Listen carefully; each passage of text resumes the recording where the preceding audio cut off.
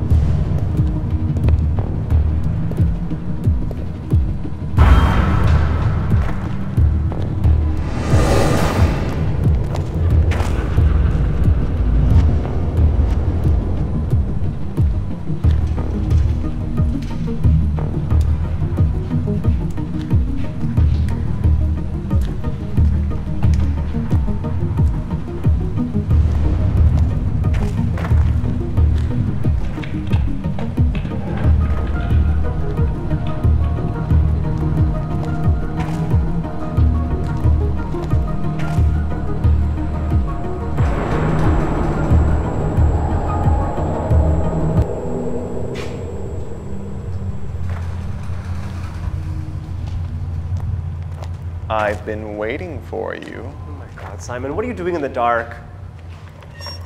It's called mood lighting, Sean. Haven't you ever heard of it? Why couldn't we just meet in the office? We work together. Because the office is so boring. Maybe walk through this abandoned, creepy warehouse for nothing.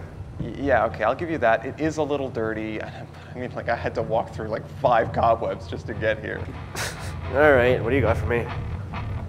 The future.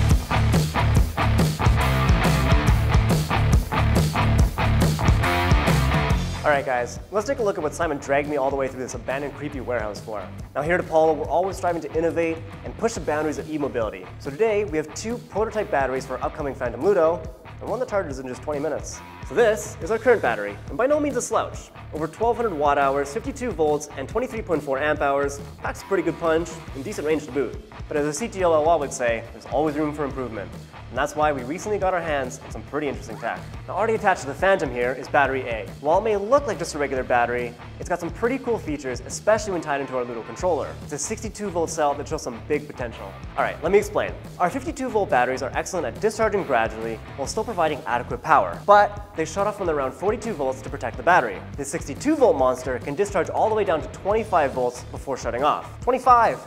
Of course, there is a caveat. This amazing battery only has a capacity of 7 amp hours, is not bad, but compared to the Phantom's current power source of 23.4 amp hours, well, to put it simply, this battery can go super fast for a very short amount of time. Another downside is that the battery isn't quite plug and play.